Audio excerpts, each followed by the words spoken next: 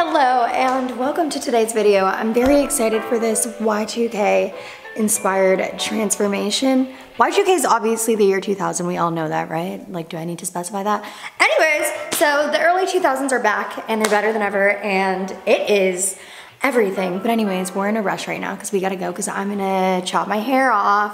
Um, I've been realizing that like this long, like super, super long hair is giving me very much like, I'm a millennial. I grew up watching Hannah Montana and Miley Cyrus's long hair is kind of like what I still want in my life. And I'm Gen Z, okay? So this isn't working anymore. Can you tell that I'm like very much on the cusp? millennial and, and, Gen Z. And that's why I'm very uh, proud to be Gen Z. I'm like, I'm one of you. Um, but I am. So let's chop this off and let's go. I'm late as usual. Uh, Vámonos. Do you live for this red hot moment? Ooh, this is from Fabletics and I feel, I feel kind of hot. I was actually being kind of dramatic. The reason that I'm cutting my hair isn't because it's Y2K inspired, although it low-key is, but I just want to be lighter for the summer. Um, I cut a lot off, so when we get home, I'll show you. Uh, so this is my supply for the rest of the day. I feel like I'm preparing for a zombie apocalypse. Not me abbreviating zombie apocalypse to zombie apocalypse and thinking that's cute. What has gotten into me? Oh, oh no! I spilled the coffee all over my brand new Fabletics. You can get any two bottoms for $24 plus 50% off and free shipping off your first order when you join VIP. Ah. Was that not like a very clean uh, ad uh, deliverable speech? Wow, I'm honestly getting good at this. Who spills their coffee and completely hits all their talking points? Not the most talented influencer in America. I'm just kidding. Imagine, God forbid, if anybody took that seriously. So this is some more Fabletics stuff I got. On the left is this black set and I love the V detail on the waist. It's so cute and so flattering. And on the right, I styled the sports bra as a top so you can see how cute it is for the daytime. I also got this set with little roses all over it and it's so cute since we're in spring heading into summer. It's so now. And bam, this red hot moment for when I want to stand out. Like boom, look at me. Yes, I'm wearing red. So Fabletics is excited to share that they'll be offering 70% off everything for new VIPs only as a special Memorial Day offer. So click the link in my description and enjoy that, baby. I was showing Honey my new hair. Hey, oh, I haven't even shown them my new hair. Hold on. I don't know. It's very, like, it's a lot shorter than what I'm used to, but it still feels a lot like lighter, bouncier, more summer. I don't know. Let me know in the comments. The following day. Hello, baby. Can you see how inspired by Y2K I've been lately? Like, who am I? Um, are you ready to get ready? Yes. Um, are you ready to get into the get ready with me portion of this video where I'm going to transform myself into a Y2K queen? Um, let's get into it. I was just making myself a cup of uh, coffee because I like to be energetic in my videos um, so I don't bore you. Aren't I so kind? Okay, hello. So if you're like me and you've been seeing that Y2K is like fully back, the aesthetic is trending, it's super popular, you're probably, well, I don't want to assume, but let me just tell you how I'm feeling. I love the fact that Y2K is coming back, but I'm still a little bit mortified and traumatized from the past because literally we had this whole realization 10 years later that the fashion was bad. We're like, ew, I can't believe people wore that in Y2K and then it's all back. So like a bit of me still feels uncomfy with the whole thing, but then another bit of me is like, parts of it is cute and I'm like ready to rock and I'm ready to bring back some of the styles into my personal life, but just not all of them. So I guess it's time for us to just all get experimental with this aesthetic and see what we resonate with and implement like the little styles that we do like from Y2K into our everyday life. Because when it's done right, it is really cute. Like there's a lot of cute Y2K moments. Like this is what I love. Like I'm obsessed with this whole aesthetic. Like Paris Hilton even has this top and I got a really similar one from I.AM.GIA. I love this look. I love that the little string pants are coming back. So there's a lot of Y2K that I love and there's a lot of Y2K that I hate. Um, one makeup look in particular that really comes up when you Google Y2K makeup is this, in my personal opinion, heinous light blue eyeshadow look. I don't like this look. It's not that I don't like this look on the celebrities that wore it in the time period. I don't like blue on my eyes. Like it just, I always look bad.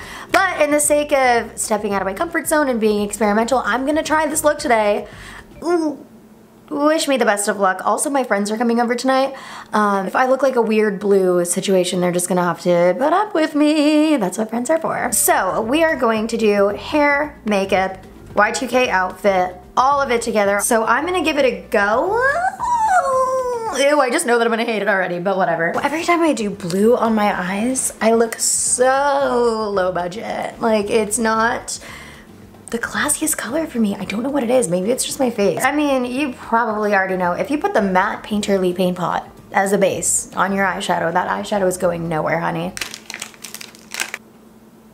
I will say, as far as Y2K coming back in terms of like social relevance is concerned, I am so glad. Like, honestly, I could spend all day long watching Y2K tea. Early 2000s drama just really hits different. It was such a different time. Um, it really does show me though like how much things have progressed, thank God.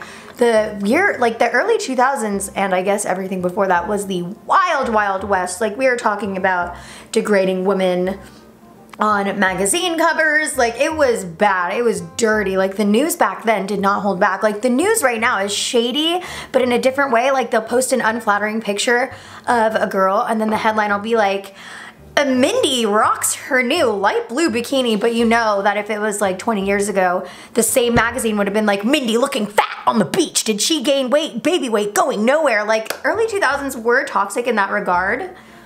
So I just, my heart goes out to the celebrities of that time because they went through it, girl. They went through it and watching back, like going back and reading the headlines, that shit was wild. But like a lot of it, I'm not gonna lie to you, is so entertaining looking back. Like the shit that would go down back then, Lindsay Lohan, Paris Hilton, all of that drama, fire crotch, that would never fly today. As it shouldn't, but looking back, it's just so funny. Oh God. Let's start this look. Also, I need to flex this while we're here because if I don't flex it now, there's not really gonna be a time for me to flex this that makes sense in the future. So Paris Hilton follows me on Instagram. Mm, mm, mm, mm, that's a flex if I've ever heard one. So, okay, I guess we're just gonna start off mixing two blues and it seems like Miss Britney has it all around, like all the way into the crease and out. All right, let me just, let me just go for this. I do like that she smokes it out underneath with a navy though. Like that is hot. Oh yeah. I might have spoken too soon on the hating blue eyeshadow thing because so far, I love this. Like, I feel like this look is gonna end up being amazing. Um, okay, I guess we should walk into things with open minds more often. Pretty much for my skin and for a lot of the makeup, I'm gonna keep it pretty consistent with how I do my regular makeup because not that that, that much has changed that I'm noticing from these photos to modern makeup. What I've been doing recently that has been rocking my world that I highly recommend you do is I mix my foundation in with an oil and then I apply it together this way I use less foundation, which just makes the look overall feel a little bit more natural. And the oil will give your face a natural glow too. So I do like two pumps of foundation, two pumps of oil, mix it together, and it becomes beautiful. Honestly, any type of face oil works. I've tried so many different kinds and they always all look bomb. And I'm gonna moisturize with my Ole Henriksen Cold Plunge Pore Ready Moisturizer. I love this moisturizer. Ole Henriksen rocks, that's first of all, but this one is for combination skin and it literally like hydrates you, but still doesn't make you look like greasy, you know? So early 2000s tea videos have been my guiltiest pleasure recently. Like they literally bring my body peace when I watch them. I don't know how to describe it. But what's really weird is how so much of the style is coming back, but then like so much of the tea is coming back and like so much of the people from that era are now like incredibly relevant again. Like Paris Hilton, I know she's like super relevant right now, but I need her to be a little bit more relevant. Like I am obsessed with her. Like she's still relevant in my mind.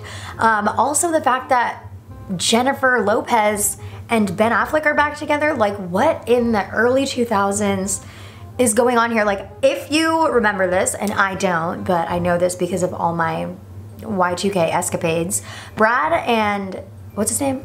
Not Brad. Ben and Jennifer were literally like the first couple that conjoined names. Like, there was no couple joining names before Bennifer. Like, literally, that was Ben and Jennifer and they were the first like Hollywood Bennifer couple and that was the first time that that's ever happened and that like rocked the tabloids. And that was like the talk of the town back then.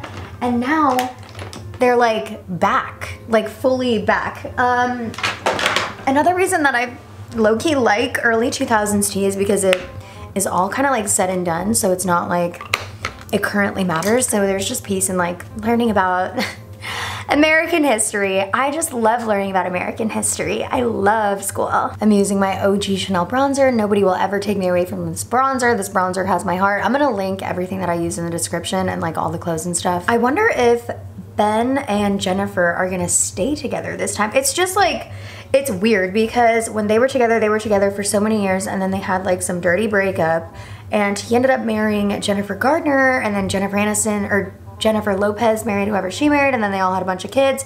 But now their love is like rekindled. Like that is a weird situation and I just love following along. They were just recently spotted in Montana together.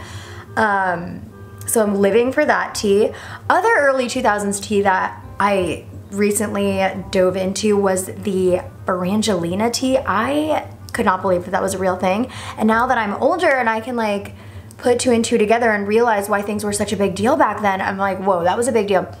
So Brad and Jen Aniston were like the hottest couple. That was like the hottest thing in the early 2000s. Like everybody was like, this is a match made in heaven. Like you have two of Hollywood's most adored celebrities and they're together now and they're both gorgeous. And then Brad Pitt goes to film Mr. and Mrs. Smith and little Miss Angelina Jolie steals her man literally steals her man. And they tried to deny it in the press. They tried to say, oh, like they weren't hooking up during the filming of the movie. Like Brad and Jennifer had literally gotten married. Um, and then he left and got with Angelina Jolie. And you know how that story ends. They adopted a bunch of children from all over the world. And, but then they eventually got divorced. And now, recently, the whole like them running into each other at whatever award show, like what in the early 2000s is going on right now. I cannot believe it. Oh yeah. Now, what I will say is the early 2000s definitely had a bunch of really good fashion moments that we can obviously like take and incorporate into our new lives now as, what? What am I trying to say? Let me restart that whole sentence. That made no sense. So I personally think the early 2000s have so many good fashion moments that we can reuse in today's fashion. There's like this rule with fashion that every 20 years the style comes back. So believe it or not, like Y2K was 20 years ago, um, which makes sense because I was literally like a one-year-old or a two-year-old or something. But now it makes sense for that fashion to come back. What I will say though is what was going on with us in the 2010s. I cannot believe we wore these Jeffrey Campbell's all the time. We wore these hoop skirts all the time. We wore the leggings under the skirts. Like the 2010s were really, really bad in fashion and like I really don't know what went on there and if you're a similar age to me we really fell victim to like the worst fashion era ever and all of our throwback pictures are like cursed with these awful styles but could you imagine if in 10 years from now those come back like we're all walking around looking like this I will not know what to do with myself. I'm sorry. What really is sad though when looking back at the early 2000s, like I mentioned before, is it was so sad how the media would talk about women and girls, and I'm talking about girls that are like 18, 19, 20, 21 years old. Like the tabloids at the time, the way they would attack Lindsay Lohan and Britney Spears, it's like, how much are we gonna blame them for going crazy when y'all really did that to them? Like the press back then was insane and as cheeky as it is to look back and be like, oh my god, it's so iconic to look back at Bimbo Summit. Ugh, that was really iconic. But like as fun as it is to stroll down memory, memory lane, it is really sad that those girls had to go through all that. I'm also watching a bunch of Holly Madison YouTube videos. I'm obsessed with her too. Again, the Y2K is back. Like Holly Madison was recently on Alex from Call Her Daddy's podcast. And first of all, I don't know how none of these women have aged. Freaks me out. Holly Madison looks the same, Paris Hilton looks the same, Lindsay, not so much. But a lot of them still look exactly the same and it's very bizarre. But anyways, so I started like following her YouTube channel and watching her, first of all, she's so cute and I love her personality, but how did those things happen back in the day? Like she was talking about her days in the Playboy Mansion and what a misogynistic, nasty ass world the 2000s were. But looking back at that shit is insane and I just like really feel for those women that had to go through all that stuff and I cannot imagine what it would be like for us if we had to go through that. And all these people, Megan Fox, literally Megan Fox, oh, I could go on a rant about how Megan Fox deserves better, but all these people deserve better and they deserve apologies from all those press outlets, from the paparazzi, from everybody because the early 2000s were gross. Like Megan Fox had to go through so much bullshit. Like everybody typecasted her as the bitch because she didn't want to like do whatever Michael Bay said and meanwhile he's like sexually objectifying her when she was 15. He made her wear a bikini and dance and dance under a waterfall? Yes. This all happened. I'm very educated in American history, okay? But even she's back. Like, it's iconic. Like, she's out here slaying the press, like, all over the front page news, dating Machine Gun Kelly, and I live for it. What is 2021. It's literally, it feels like 2001, but like transplanted to now, and I'm obsessed. I'm so obsessed. It's all making me so happy. So in Britney's look that I'm recreating, she has a lot of blush on and it's all down here, but I feel like we've all collectively as a society came to the group realization that the blush should go up here. Um, so as far as accuracy goes, I'm gonna move the blush. It's not gonna be accurate, but it's gonna look better because if you put blush down here, it kind of drags your face down. And we all know this now. We've evolved. Oh yeah. I really hope that Juicy Couture makes a full comeback.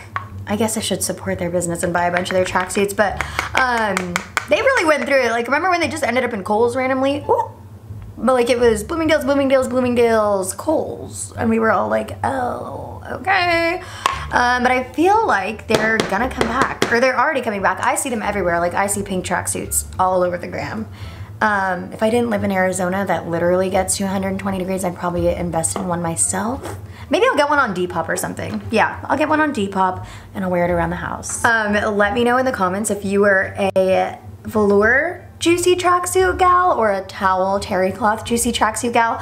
Also, let me know if you preferred the ones with the designs on the back or no designs. I loved like the simple ones with zero designs. Like I hated the ones with like those crazy designs on the back. I was like, nope, not cute.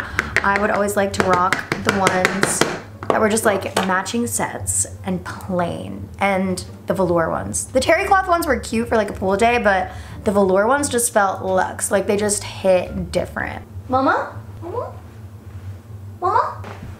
Hi, Mama. Good girl. Good girl. My dog has been sleeping there this whole time. She's so cute. So for brows, I'm gonna use my tried and true NYX Cosmetics micro brow pencil. I'm a firm believer in not spending a lot of money on brow pencils. Like these NYX Cosmetics ones are very cheap and they do the same thing as any other brand is gonna do for you. This is in the shade Taupe and normally I would go in there afterwards and like fan them out and make them look a little bit um, fluffy, but that's very 2021 and that's not what we're going for. So not today, baby. So Miss Britney smokes underneath her eye with a dark purple, so that is exactly what I'm gonna do. I was not expecting to love this look so much. I'm obsessed. Now I'm gonna go in with this Makeup by Mario Black liner. I love the formula of this liner. It is seriously like the most pigmented, creamy situation. I'm obsessed. Now in Britney's look, she did just a gloss and I love that look, but what I'm gonna do is I'm gonna line my lips, not fill them in and do a gloss on top of that because I feel like that's the more modernized version of the early 2000s just like gloss moment, but it looks better, honestly. I'm gonna use this Kylie Cosmetics liner in the shade Girls Trip. And I'm definitely not gonna overline because that is far too 2021. I'm gonna just keep my natural lip line. Oh yeah. I'm really gonna make the brow bone very, very, very icy. I'm using this color called Frosted AF from the BH Aspen palette. Oh my god, this looks so Y2K. I kind of love it. For highlight, I'm not gonna do too much because highlight was not that much of a thing in the early 2000s. Like that started in the contouring era and timeline wise, we're not there yet for this. Okay, so that concludes the makeup portion of this video. Um, I'm obsessed. Okay, let's go do hair, baby. Y2K inspired hair. These are some of the inspo pics that I found. Which one I'm gonna do yet? I don't know. Let's go see. Okay, so for hair, these are the materials that I have brought with me. I have these tiny little clips, which are so early 2000s. I also have like the big clips if I wanted to do one of those looks. And I also have these tiny little hair ties that I got off Amazon. The hairstyle that I'm leaning towards the most right now, oh, I forgot that I chopped all my hair off. That was alarming. I kind of miss my long hair, low key, but like this is cute or whatever. So it seemed like little tiny space buns were a big thing in the early 2000s. I'm gonna try that first and see how that goes. You're also supposed to leave like two little pieces dangling in front. Now what I'm noticing is everybody who does these little space buns has the stripy highlights that were also a big vibe in the early 2000s, but I say we leave those in the past. Those early 2000s highlights, oh no. Oh no, no, no. Oh my God, do you guys remember the video that I made where I got my hair done in LA and they gave me those terrible stripy highlights? Let's leave those in the past. I'm all good for that. Cute, I think. I don't know, is it too tall? Uh... These are adorable. I just checked in the other mirror to make sure. These are great, I'm a fan. Let's move on to the outfit. I have so many Y2K clothes that I've been getting, so let's see where we land. I mean, technically I could just call it a day and stay in this, but I promised an outfit. So you're getting an outfit. Vámonos. Okay, whoa, not to be dramatic, but I just took some selfies in this glam and I snapped.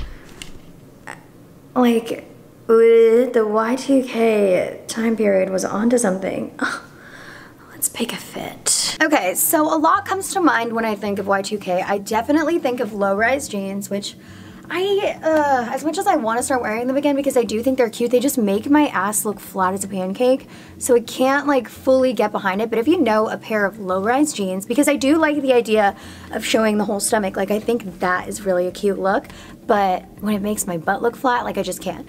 Um, so when I think of Y2K, I think of halter tops, I think of color, I think of bedazzled belts, I think of little tank tops, I think of furry stuff like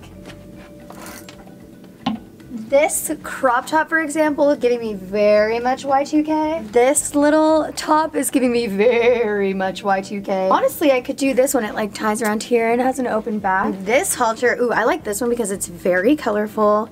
And halter tops, like, come on, halter tops are like the most Y2K things ever. Also, when I think Y2K, I think chunky rings, hoops. These jeans, for some reason, I think these are high-waisted jeans, but they're giving me Y2K energy.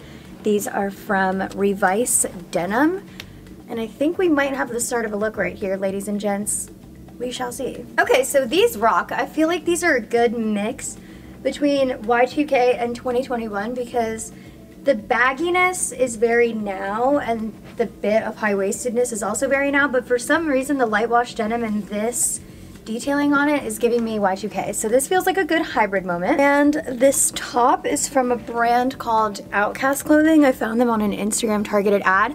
This is so cute. Are you kidding me right now? Wait, I was not expecting to love all this as much as I do. Stop. I feel like a pair of hoops are obviously a must as well. So we have these big ones. Guys, I'm fucking serving a look right now. Okay, and now for shoes, I do have a lot of color up top, so I could do like a funky shoe, but because I'm wearing wide leg or like bootleg jeans, I do want to pair it with some sort of like cool streetwear sneaker. I have both of these and technically my outfit could go either way because it has orange and it has yellow in it. But these are new and I haven't taken them on a spin yet, so I think I'm gonna choose these. I'm obsessed with dunks. Um, dunks are like a hack because they look very similar to Jordans, but they're not Jordans and they're like much cheaper. I buy them on Go. I am severely feeling myself right now. Okay, I just added on this bedazzled belt because it is all over Y2K Fashion Hut bedazzled belt. I feel so blast from the past right now and I feel like it is not Y2K without some fun chunky rings to finish it off. Ladies and gentlemen, hi. Woo! Okay, that was so much fun to film. Wow, thank you for, and there goes the funky chunky.